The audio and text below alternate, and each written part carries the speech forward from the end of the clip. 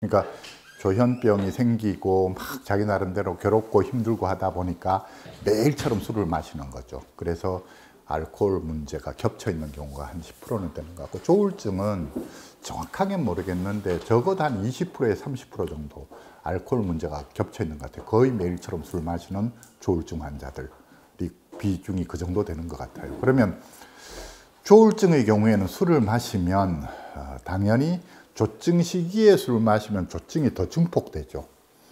또 우울 시기에 술 마시면 우울이 더 심해져요. 술 마시면 우울증 있을 때 술 마시면 그 술 마실 때만 잠시 기분이 괜찮지 다음 날 자고 일어나면 아주 기분이 끔찍해요. 예, 그렇게 되니까 그래서 저 같은 경우에는 조울증이 있으신 분들은 할 수만 있다면 술 안 드시는 게 최고로 좋습니다. 술을 안 먹는 게 최고로 좋습니다. 그 다음에 어쩔 수 없이 술을 마신다면 정말 일주일에 뭐 한두 번 정도 한 번에 그냥 맥주 한두 캔 정도 소주로 따지면 자면 뭐 한 반병이나 아무리 많이 마셔도 한 병을 안 넘기는 선에서 마시는 정도가 돼야지 이게 술에 의존할 정도로 마시게 되면 그럼 완전히 하여튼 방법이 그 다음부터 방법이 안 나오죠. 그래서 술 문제를 어떻게든 어, 조절을 할 수 있게끔 상담을 잘 해야 되고요. 이 부분이 참 어려운 게 이미 술, 알코올 중독 단계에 접어든 사람들, 의존 단계에 접어든 사람들은 끊을 생각이 없어요. 이미 그게 내 삶의 유일한 낙인데 내가 왜 그거 끊어야 되느냐 이런 자세로 가기 때문에 정말 인생이 완전히 망가지고 나야 그때 가서 끊든지 하는 거지. 이 부분이 참 대책이 안 생기는 부분이죠. 그 다음에 이제 기타의 충동 조절 문제들에서 분노 조절 문제 화내고 짜증내는 문제 폭언과 폭행.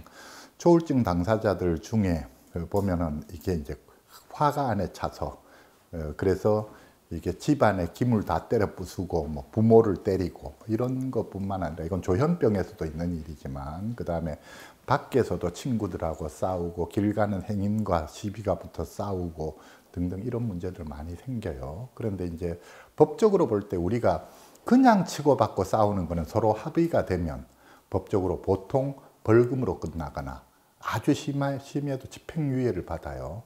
그런데 손에 뭐 들었다 하는 순간에 손에 몽둥이라도 하나 들었다. 야구방망이 들었다. 뭐 강목을 들었다. 칼 들었다. 손에 뭐 드는 순간에 특수자가 붙거든요. 특수 폭행이 돼요. 이걸로 안 때려도 손에 들고 위협만 했어도 이건 특수가 돼요. 특수가 되는 순간에는 저게 집행유예가 없어요. 특수는 무조건 실형 살아야지 돼요. 그래서 조울증 당사자들 중에 실형 사는 당사자들 많아요. 앞에 사기, 부도, 이런 문제 때문에 그거에 얽혀서 실형 사는 사람들이 있고 그 다음에 이 폭행 문제로 실형 사는 사람도 있고 그래서 저는 조울증 부모 상담할 때 조울증 부모들한테 기본적으로 세 가지 각오하셔야 됩니다. 이야기를 하거든요. 이 세 가지는 언제 되더라도 할 수 없다라고 감수할 각오하셔야 됩니다. 첫 번째 신용불량자 되는 거. 조울증 당사자는 항상 신용불량자 될 가능성이 있습니다. 그 다음에 두 번째 기초생활수급자로 전락하는 것. 이거 항상 가능성이 있습니다. 세 번째, 교도소 가는 거. 이거 항상 가능성. 이 세 가지 각오하셔야 됩니다. 그래서 흔히 보면 교도소 가는 일을 벌려서 폭행을, 폭행 사건에 연루가 됐다, 성추행에 연루가 됐다, 연루가 될 때 합의금 주고 빼내는 부모님들 많아요. 근데 그거 잘 생각하셔야 돼요. 합의금 주고 사, 사건 해결한다 해서 한 번으로 안 끝나고 근본적으로 해결 안 되면 그건 다음에 또 같은 사건이 일어나고 또 돈 들여야 되고 다음에 또 같은 사건이 일어나고 그래서 돈을 들여야지 되는데 그래서 이걸 합의금을 줘서 사건을 무마할 거냐 아니면 교도소를 보낼 거냐 하는 거를 잘 부모님들이 판단을 현실적으로 판단을 잘 하셔야 돼요. 이게 무조건 교도소 보내면 절대 안 된다 해서 무조건 하고 막 합의금 거액의 합의금을 주고 합의할 것만은 아니라는 거죠. 자기가 그 버릇 못 고치면 차라리 교도소 갔다 오는 게 낫다 하는 거예요. 폭행이면 폭행 또는 뭐 그런 것들. 그래서 분노 조절 문제가 이게 사실은 문제가 되고요. 근데 이때에도 마찬가지예요. 이때에도 본인 안에 사실은 화가 없는 화가 나오는 게 아니라 화가 차여 있기 때문에 항상 폭, 폭언부터 시작해서 폭언을 한다, 기물을 때려 부순다, 폭, 사람을 때린다 등등 이런 문제가 일어날 땐제 이야기 반드시 상담받아야 된다. 안에 화가 차여 있으니까 그 화 다 끄집어내야 된다. 이야기를 하거든요. 부모들한테도 무조건 하고 그 지가 어떤 이야기할 때 잘 들어줘야 된다. 화낼 때 충분히 화낼 수 있게 허용해 줘야 된다. 충분히 그 표현을 할 수 있게 해줘야 된다. 그럴 때 문제를 해결해 갈 수 있다. 뭐 그런 이야기를 하는 것이죠. 그 다음에 또 이제 이성관계 문제. 충동적인 사귐, 충동적인 성생활, 복잡한 이성관계. 자, 이제 아까도 이야기했잖아요. 특히나 이성 관계가 어떤 때 잘 시작되느냐 하면, 물론 우울증일 때도 시작되죠. 여자들의 경우에는. 남자들의 경우에는 우울증일 때는 여자가 없어요. 주변에. 그, 이게 이래요. 조증 시기에, 그리고 특히 내가 잘 나갈 때에는 주변에 이성도 쫙 달라붙어요. 여자, 나, 나를 좋아하는 여자가 많이 생기는데, 우울증 시기에 내가 힘들 때에 되면 쫙 빠져나가요. 이것도 참 모순이죠. 조증 시기에는 내가 별로 사람이 별로 안 그립거든요. 여자도 별로 안 필요하거든요. 내가 잘 나가고 있으니까 사실 필요가 없는데 쫙 달라붙고 우울증 시기에는 정말로 누구로라도 한 사람 있었으면 좋겠는데 아무도 없고 평상시에 내한테 관심이 있던 사람도 우울증 시기에는 쉽게 표현하면 작업이 안 돼요. 우울증 시기에는 작업할 수 있는 기술 자체가 떨어지는 거예요.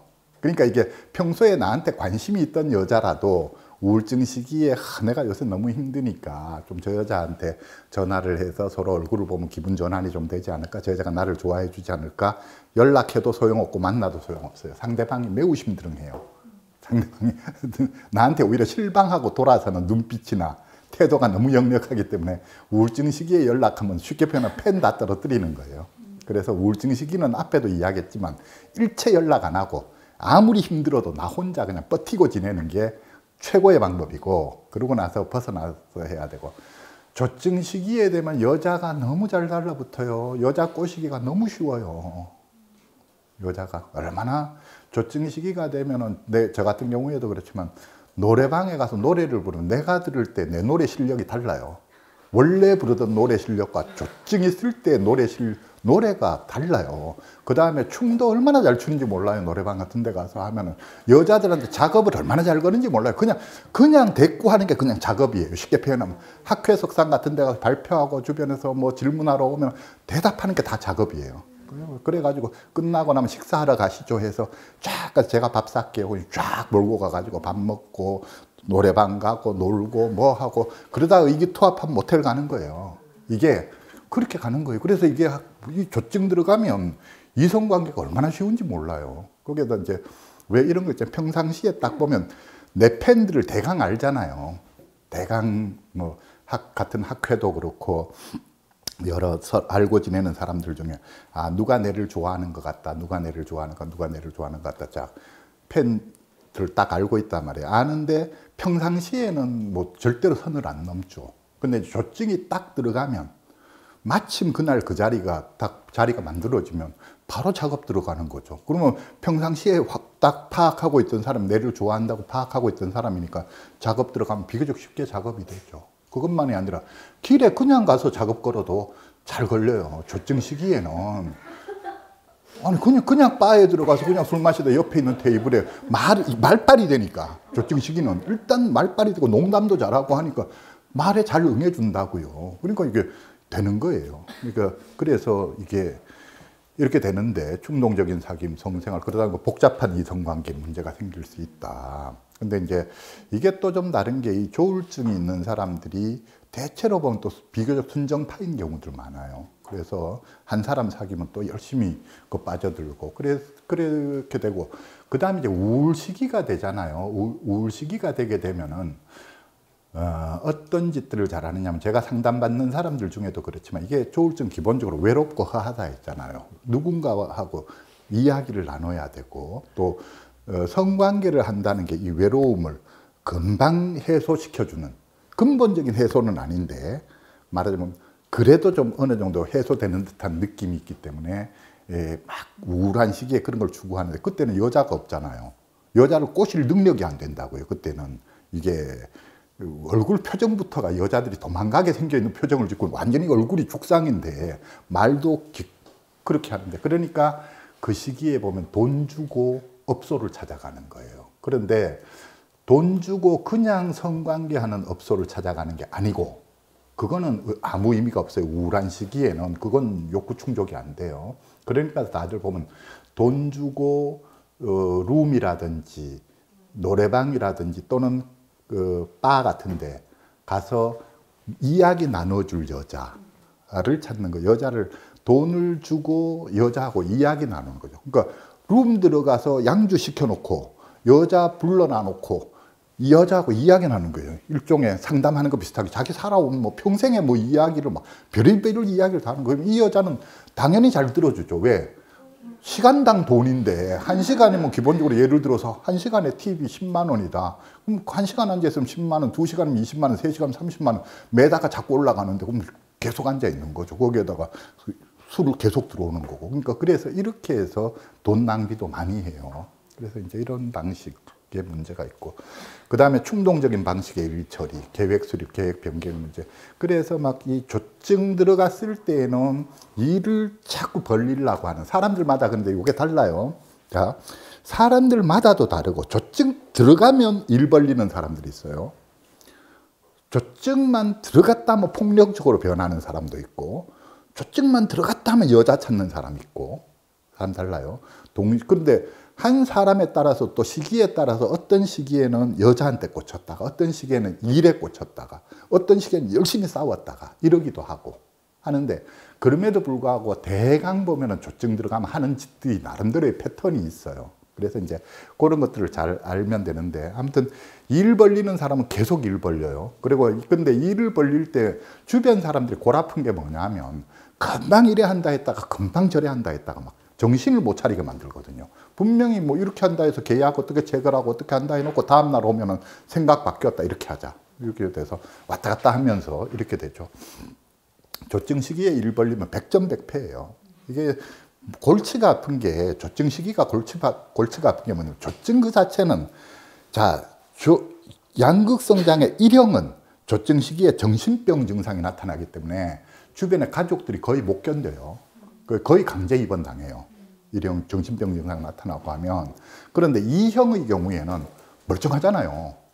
막 말이 억수로 빠르고 그다음 막 쉽게 흥분하고 하기는 하지만 그렇다고 해서 미친 건 아니니까 정신병원에 넣을 것도 아니고 등등 사고는 쳐대는데 뭐 어떻게 방법이 없는 거죠 조증 시기. 근데 이 조증 시기에 두세 달, 몇 달 이게 조증이 건설적으로 잘 지낼 때에는 경조증 기간이 오래 가요. 한 9개월까지도 가고 이러거든요. 공부 잘하는 시기가. 그런데 에, 그리고 우울 기간은 짧게 와요. 한두 달로 짧게 오는데 이게 잘 못 지내는 시기. 아까 내가 선순환, 악순환이라 했죠. 선순환 시기에는 경조증이 길게 오고 이게 우울증은 짧게 오는데 악순환으로 들어가면 경조증 기간이 억수로 짧아요. 한두 달, 두세 달. 요, 요거는 짧고 나머지 1년에 8, 9개월이 우울증 기간이거든요. 예, 정말 이때는 본인으로서는 죽을 지경인 게 우울증인 게 죽을 지경인데 경조증 기간은 그나마 좀 살았다 싶은 재미난 삶이 재미난 시기인데 문제는 뭐냐면 경조증 때 사고 쳐놓고 이거 뒷수습하느라고 몇 년을 뼈 빠지게 고생해야 돼요. 돈 사고 치면 그거 갚느라고 뼈 빠지게 고생해야 되잖아요. 경조증 시기에 여자 하나 잘못 사겨 놓으면 나중에 그거 떼내지도 못하고 그것도 몇 년을 또 고생한다고요. 이런 문제들. 경조증 시기에 쉽게, 나 같은 경우에 또 고생 많이 했던 게 뭐냐면 너무 쉽게 약속하고 오케이 해서 예를 들어 경조증 시기 되면 자신만만하니까 이런 자리에 학회 자리 같은 데 가서 뭐 같이 저녁 먹고 술 먹고 하다 보면은 아, 내 요새 이러이런 좀 어려운 게 있는데 그거 요렇게 좀 도와줄 수 있어요. 뭐 등등 하면은 깊이 생각 안 하고 오케이 내가 해줄게. 해줄게 하는 순간에 다음날 딱 생각해 보면 이게 석 달짜리예요. 석 달 뼈 빠지게 일해야 이거 해주는 거예요. 논문 같은 거 쓰는 것도 뭐 이야기할 때 너무 쉽게 공동 연구할까요? 어쩌고 하면은 갖다 아, 예, 합시다. 하는 순간에 이거 뼈 빠지게 고생하는 거예요. 거기에다 학회 감투 같은 거 맞는 거를 너무 쉽게 오케이 해서 감투 맞는 순간에 이거 1년 고생하는 거잖아요. 이런 식으로 해서 막 안 맡아도 될 일을 맡아서 뼈 빠지게 고생했는 경우가 너무 많아요. 그러니까 조울증, 조증 시기 끝나고 나면 그 다음엔 조증 시기에 너무 쉽게 쉽게 약속했던 것들 뒷감당하느라고 이렇게 고생하는 하기도 하죠. 그래서 이런 것들이에요. 그 다음에 일 중독, 저 조울증 있는 사람들 경우에 일 중독 있는 경우 많아요. 제 경우에도 일 중독 좀 있, 있지만 일 중독 및 기타의 중독 행위들 있고 신흥 종교 잘 들어가요. 우리 뭐 기분파다 신흥 종교가 매우 저간데 현실적이고 계산적인 사람들은 신흥 종교 절대 안 빠져요.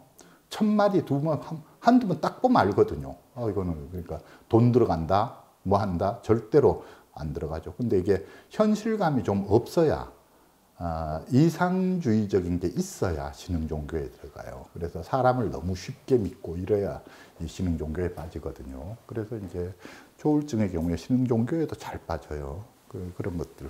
그 다음에 이제 지나친 성취 욕구와 자신감, 자기 과시 이런 게 있기 때문에 흔히 보면 이게 이제 잘못되면 잘난 척하는 사람들이 있어요. 그러니까 조울증 당사자마다 좀 다른데 겉보기에 겸손한 조울증 당사자도 있고 겉보기에 잘난 척하는 조울증 당사자도 잘난 척하고 타인을 무시하고 자녀에 대해서 조증 기간만 됐다면 애들을 불러놓고 자꾸 훈계를 해서 그게 괴롭다는 집들도 있어요. 그러니까 그런 것들이 있고 그다음에 자살 충동, 자살 시도 이런 건 많죠. 자살 충동, 자살 시도는 조증 기간에는 안 하죠. 우리가 흔히 자살은 그런다 하잖아요. 우울 기간. 우울 기간에도 안 해요. 왜? 우울 기간에는 자살할 힘이 없어서 우울에서 빠져나올 때 자살한다 하잖아요. 그때 이제 우울 기간을 지나고 빠져나올 때 에너지가 생길 때 자살을 한다 하죠. 자살에 대한 생각들을, 충동들을 꽤 갖죠. 어, 이거는 뭐 조현병도 그렇고, 조울증도 그렇고, 어, 자살들 많이 해요. 우리가 전체 조현병 당사자 같은 경우에는 전체 한 5% 정도가 자살로 생을 마감한다. 5% 비율 큰 거예요. 20명 중에 한 명이에요. 우리가 지금 어, 자살률이 높다 높다 하는 게 그러니까 일반 인구하고 비교하면 저도 정확히 모르지만 적어도 한 열 몇 배, 열 배, 스무 배 가량 높죠. 이런 조현병이나 조울증이나 이쪽에서의 자살률이. 그러니까 사실은 자살 문제가 사실은 심각한 문제인데 사람들이 관심을 안, 이 조현병, 정신질환에 대해 자살 문제가 심각한 문제예요. 자, 그래서 이런 이제 문제들, 주요 문제 영역들에 대한 대비책을 미리 세워둬야 된다. 그래 주요 문제 영역들에 대한 대비책 세우고 사전 대비책 세우는 것 관련해서 필요한 게 뭐냐면 첫 번째 가치관 정립이 필요하다. 확고한 삶의 목표. 자, 조울증 환자들 반드시 삶의 목표와 그 다음에 좋은 사람이 있어야 돼요. 자, 아까 제가 삶의 중심, 삶의 중심에 내가 확고한 삶의 목표가 있든지 신앙이 있든지 뭐가 내 삶의 중심이 있어야 되고 그 다음에 아까 이야기했듯 두 발로 딛고 설 내한테 지지자, 지원자가 있어야 돼. 좋은 가족, 좋은 직장 동료. 아무튼 주변에 적어도 한 사람이라도 내 마음을 잘 알아주고 다독거려 줄 수 있는 사람이 있어야 된다 하는 것이죠. 자, 그래서 더 바람직하기로는 좋은 직장과 좋은 가정이 있으면 가장 바람직하죠. 그 다음에 적극적 조언자가 필요한데 이게 뭐냐면 적극적 조언자, 친밀한 관계. 이게 조울증에서 아주 골치가 아픈 게 조증 뜨면 누구의 말도 안 듣거든요. 누구의 말도 안 들어요. 그러니까 자기가 하고 싶은 대로 하려고 하니까 이게 사고가 된단 말이에요. 사고가 될 때 눈에 뻔한데 이때 누구의 말도 안 듣는데 그래도 누구 말을 듣느냐? 자기가 진짜 좋아하는 사람 말은 들어요. 그러니까 부부 관계가 좋다. 그럼 아내의 말은 들어요. 부모님하고 관계가 좋다. 그럼 부모님 말 들어요. 그러니까 진짜로 좋아하는 사람. 아니면 또 하나는 존경하는 사람. 자기가 존경하는 학교 선생님이라든지 존경하는 사람이 있으면 그분이 불러서 이렇게 하고 말리면 그때는 브레이크가 잡혀요. 그래서 이런 사람이 평상시에 있어야 된다는 거예요. 자기 조증이 들어가게 되면은 자기 스스로 경조증 들어가게 되면 자기 스스로 브레이크 못 잡는 경우 많아요. 우리가 저거하고 비슷하다고 보면 돼. 술이 술이 취할 때 술이 어느 정도 취할 때까지는 내가 스스로가 취했다는 걸 알잖아요. 그래서 스스로가 자제를 할 수가 있는 게 되는데 일정 선을 넘어서면 자기가 술 취했다는 사실 자체를 안 받아들이잖아요. 그리고 주변에 이제 사람들이 술 그만 마시라 해도 내가 무슨 술이 취했다고 하느냐 계속 고집 부리고 막 누구도 통제 못하는 선으로 넘어가듯이 조울증도 그 비슷하다는 거예요. 일정한 선으로 뜰 때까지는 자기가 뜬다는 걸 알아요.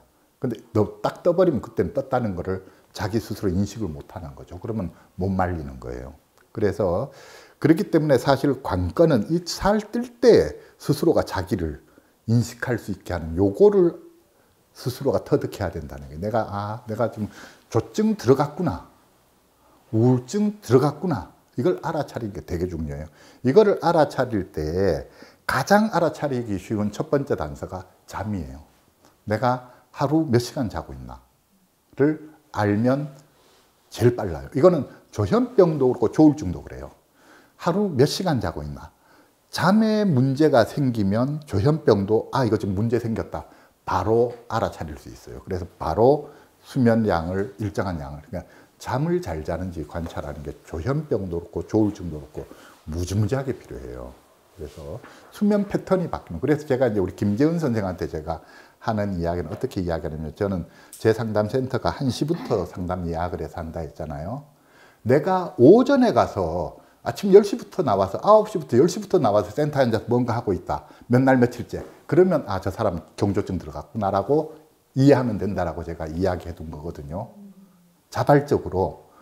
원래 매일 1시에도 간신히 나가는 사람이라고 1시 상담 예약이 되어 있으면 1시까지 가고 아니면 2시에 예약되어 있으면 2시에 가고 3시에 예약되어 있으면 3시에 가고 그 시간도 간신히 맞춰서 나간다고요. 저 같은 경우에 일찍 가는 게 아니고 근데 어느 날 되면 아침에 대해서 5시, 6시에 눈이 번쩍 떠졌는데 잠이 안 와요.